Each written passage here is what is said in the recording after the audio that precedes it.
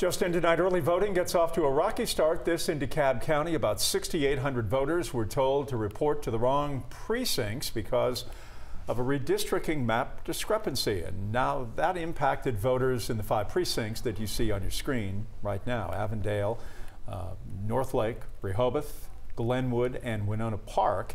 The issue was found, it's been fixed so that anybody going to vote today got to vote for the correct races, so it's all squared away.